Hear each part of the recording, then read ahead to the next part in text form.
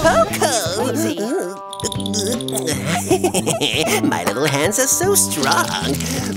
Mmm, sweet cocoa. Don't worry, Mommy. I'll try just a little. That's the most delicious thing in the world. Whoopsie. I guess that kind of went down. Ugh, this baby is disgusting.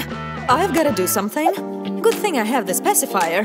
First, open it up like this. Then, put a strawberry inside. All right. Ah, looks so... Nope, it's for my baby. Take it. That's so delish. I like it. Right, let's hope you will fall asleep.